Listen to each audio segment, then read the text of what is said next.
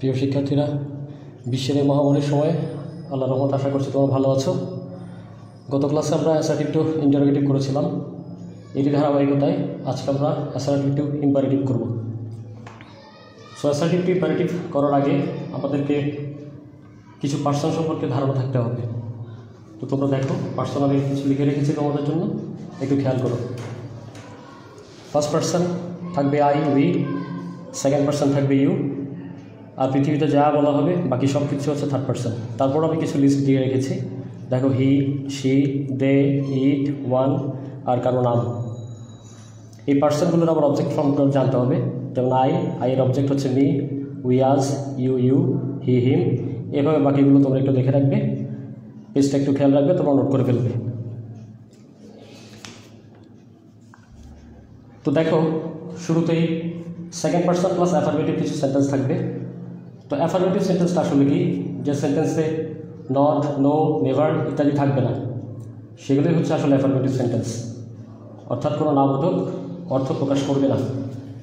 তো দেখো আছে you should speak the truth second person যুক্ত অ্যাফার্মেটিভ সেন্টেন্সকে যখন আমরা ইম্পারেটিভ করব, তখন সেকেন্ড পার্সন ইউ এটা উঠে যাবে। অক্সিলারি ভার্ব শুড এটাও উঠে যাবে। বাকি আছে স্পিক দ্য ট্রুথ তো শুরুটা হবে speak the truth speak the truth আশা করছি তোমরা বুঝে গেছো।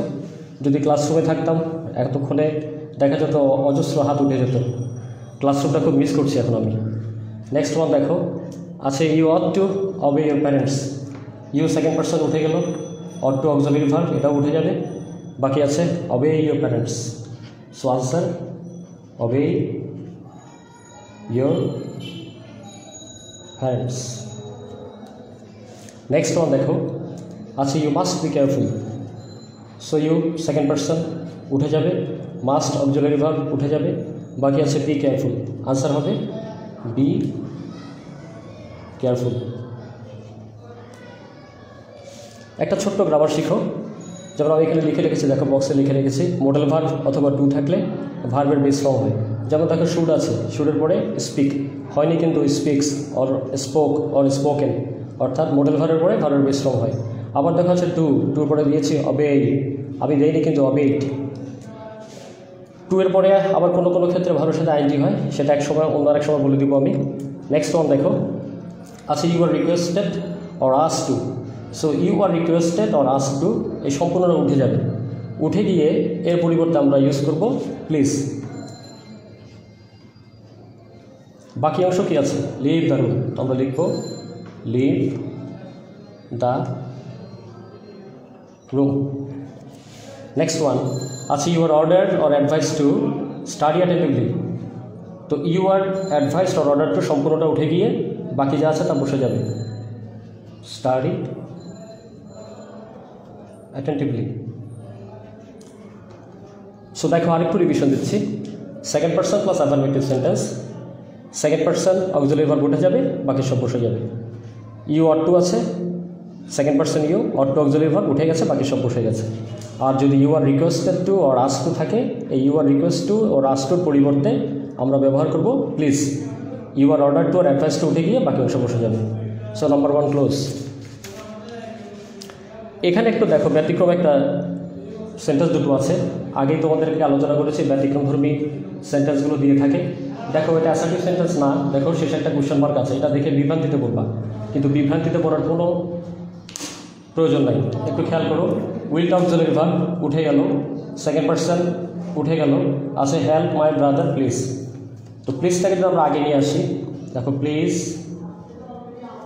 help my brother next one আছে would you post the letter please so would উঠে যাবে সেকেন্ড পার্সন ইউ উঠে যাবে আবার লিখব প্লিজ থেকে please post the letter. So, number six and number seven is very important. এটা একটু স্টার দিয়ে রাখলাম। তোমরা দুটো সেন্টেন্স ভালো করে খেয়াল করবা। এটা বইয়ে সাধারণত পাবে না। নেক্সট দেখো second person plus inter negative sentence তো second plus person plus negative sentence যদি থাকে নেগেটিভ সেন্টেন্স আমরা কীভাবে চিনব? দেখো আমি লিখে রেখেছি নট নো নেভার ইত্যাদি থাকবে। তখনই তোমরা বুঝতে পারবে ওটা নেগেটিভ সেন্টেন্স সো দেখো, যদি সেকেন্ড পার্সন থাকে, আমরা আগেই জানি উঠে যায় অক্সিলারি ভাগ উঠে যায়, আছে নট নট থাকলে আমরা দেবো ডোন্ট আমি লিখে রেখেছি এখানে ডোন্ট তো দেখো শুরুটা করছি আমরা নট আছে লিখো ডোন্ট ডোন্ট কিল টাইম আবার দেখো আছে you may not you auxiliary verb you second person উঠে যাবে মে অক্সিলারি ভার্ব উঠে যাবে, আছে নট নটের পরিবর্তে আমরা দিব don't so don't be so rude next one দেখো আচ্ছা you should never tell lie you উঠে যাবে। শুড অক্সিলারি ভার্ব উঠে যাবে। আছে নেভার টেল লাই সো দেখো নেভার থেকে লিখব। Never tell a lie number four দেখো আবার। আছে ইউ সেকেন্ড পার্সন উঠে গেল। ক্যান অক্সিলারি ভার্ব উঠে গেল। আচ্ছা নেভার গো দেয়ার সো লিখব নেভার গো দেয়ার সো খেয়াল করো আবার দেখো সেকেন্ড পার্সন অক্সিলারি ভার্ব উঠে যাবে নট আছে ডোন্ট দিব। সেকেন্ড পার্সন অক্সিলারি ভার্ব উঠে যাবে নট আছে ডোন্ট দিব। বাকি সব বসে যাবে। আবার দেখো you can never go there so you second person উঠে গেল ক্যান অক্সিলারি ভার্ব উঠে গেল নেভার থেকে শেষ পর্যন্ত বসে যাবে নেভার গো দেয়ার আশা করছি এটা তোমরা বুঝে গেছো। নেক্সট ওয়ান দেখো, খুব ইম্পর্টেন্ট একটা জিনিস। ফার্স্ট অথবা থার্ড পার্সন যুক্ত যদি অ্যাফার্মেটিভ সেন্টেন্স থাকে অ্যাফার্মেটিভ সেন্টেন্স আগেই বলেছি নট নেভার নো থাকবে না। আর যদি ফার্স্ট বা থার্ড পার্সন থাকে, তাহলে আমাকে অবশ্যই লেট ইউজ করতে হবে। সো একটু খেয়াল করো। আছে আই শুরুতে দিব লেট আই এর অবজেক্ট ফ্রম মি আমরা আগেই শিখেছি অক্সিলারি ভার্ব উঠে যাবে। বাকি কি আছে? সলভ দ্য প্রবলেম লিখে ফেলব solve the problem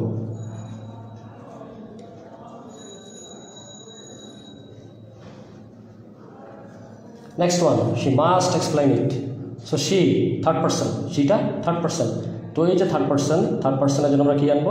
লেট শির object from her must auxiliary verb উঠে যাবে।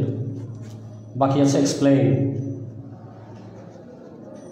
ইট নেক্সট ওয়ান দেখো, আবার আছে they have to play cricket so they third person have to auxiliary verb উঠে যাবে। তো আছে লেট ডেম পুরো হ্যাভ টুটা উঠে যাবে। আছে প্লে ক্রিকেট সো লিখব প্লে ক্রিকেট দেখো রহিম রহিম কারও নাম। সো রহিমও কিন্তু থার্ড পার্সন সিঙ্গুলার নাম্বার তো আমরা কী দিব? লেট রহিমের object from Rahim. Let Rahim. Auxiliary verb উঠে যাবে। উঠবে সলভ দ্য ম্যাথ সো দেখো নিয়মটা হচ্ছে ফার্স্ট বা থার্ড পার্সন থাকলে আমরা লেট দিব। লেট বসাবো সাবজেক্টের অবজেক্ট ফ্রম আই মি কেন উঠে যাবে? শি আছে লেট হার মাস্ট উঠে যাবে। দে আছে লেট দেন হ্যাভ টু উঠে যাবে। রহিম আছে লেট রহিম অক্সিলারি ভার্বটা উঠে যাবে, বাকি সব বসে গেল। So number three complete next দেখো ফার্স্ট বা থার্ড পার্সন যুক্ত যদি নেগেটিভ সেন্টেন্স থাকে নেগেটিভ আগেই বলেছি নেগেটিভ সেন্টেন্স কি? নট থাকবে। সো খেয়াল করো। আচ্ছা উই আমরা দিব let we object from us let us auxiliary verb উঠে যাবে শুড আছে not so let us not hate the needy next one number two আছে হি সো আমরা দিব let object from him let him auxiliary verb will উঠে যাবে এখানে যেমন শুড উঠে গেছে। সো উইল উঠে গেলে আমরা কী পাচ্ছি? নট স্টার্ট রাইটিং এখানে একটা গ্রামার শিখে রাখো। স্টার্ট অথবা স্টপের পরে ভালোর সাথে কিন্তু আইনজি হয়। দেখো রাইটিং বসেছে। নেক্সট ওয়ান আছে we must not we first person আমরা দিব let উইর object from us let us must উঠে যাবে। বাকি কী আছে মাস্টার পরে সো ওগুলো লিখে দিচ্ছি। Not pollute, the environment. So দেখো, বেশি কঠিন হয়েছে, ঠিক আগের মতোই কিন্তু। ফার্স্ট পার্সন আছে লেট দিয়েছি। Will object from us object verb উঠে গিয়ে বাকি সব বসে যাবে। হি উইল নট আছে লেট হিম নট থেকে বাকি সব পর্যন্ত। নট থেকে বাকি শেষ পর্যন্ত নট থেকে বাকি শেষ পর্যন্ত। সো নম্বর ফোরও চলে গেল। নাম্বার ফাইভ খুব বেশি ইম্পর্টেন্ট এটা পরীক্ষা আসে, এটা একটু মনে রেখো তোমরা।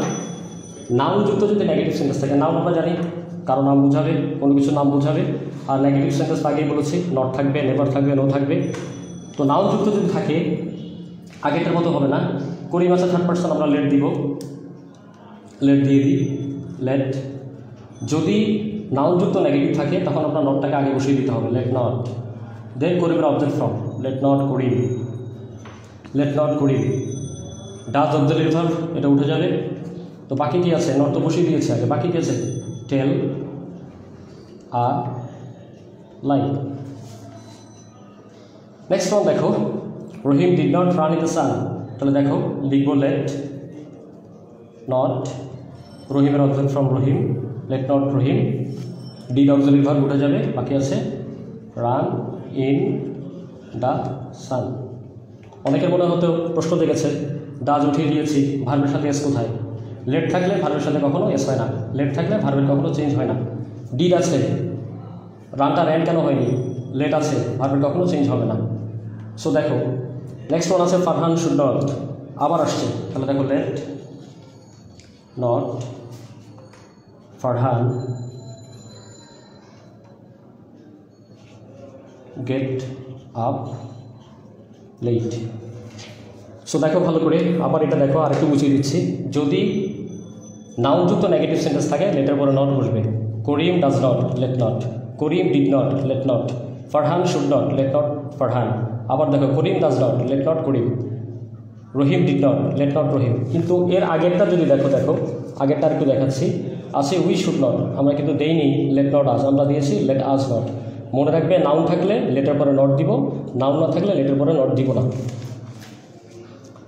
সো দেখো, আমরা মোটামুটি ওয়ান টু ফাইভ করে ফেলেছি। আগামী ক্লাসে একটু ভালো করে এগুলো খেয়াল করবে। আগামী ক্লাসের জন্য কিছু এক্সারসাইজ দিয়ে দিয়েছি, তোমাদেরকে হোমওয়ার্ক করবে। এই হোমওয়ার্ক দশটা দিয়েছি আমি। ওই পাঁচটা রুলস ভালো করে দেখলে আশা করছি তোমরা এগুলো পারবে। পরবর্তী ক্লাসে কোনো সময় দেখা হবে, আরেকটা রুলস নিয়ে আলোচনা করব আমরা।